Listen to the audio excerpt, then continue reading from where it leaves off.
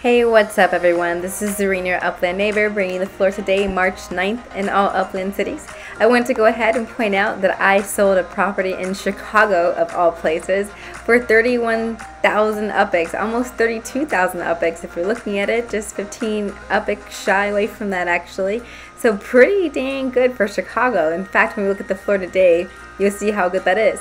I have to go back and see why this particular property is you know, sold for that much, but I had it priced right because I just had it sitting there. I must have gone and seen what the floor was in that neighborhood at some point and was like, okay, this is a good price, and now it's sold. So that's how you do it. You toss that reel and you wait to reel it in and catch those fish.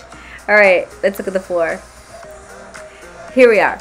So I, oh wait, one thing you might want to do, if you haven't already, is go on your Sao Paulo Land of Drizzle tour. If you didn't register yesterday, then it's too late for that. But if you did, make sure you do take care of that. The tour is open. Also, they op they talked about um, MetaVenture Raid going on, so they encourage people to visit at least five different MetaVentures in the game by Sunday um, to have a chance at winning. Um, but you can also check out some deals right now on upxland.me to see if you can actually, you know, make your way to a MetaVenture that has something you want to grab, like a cool little France mug or something good. Who knows? So that gives you some incentive to go travel to some MetaVentures that maybe you've been waiting to go see because, you know, just didn't feel like leaving your city, maybe you're hunting, whatever. This might be a good chance just to go ahead and have a reason to do so. For me, I'll pay attention to how much I've spent in travel fees because it's not really worth it if you're only winning 10,000 UPIX to go out and spend a whole bunch of UPIX for this. So anyways, back to the floor.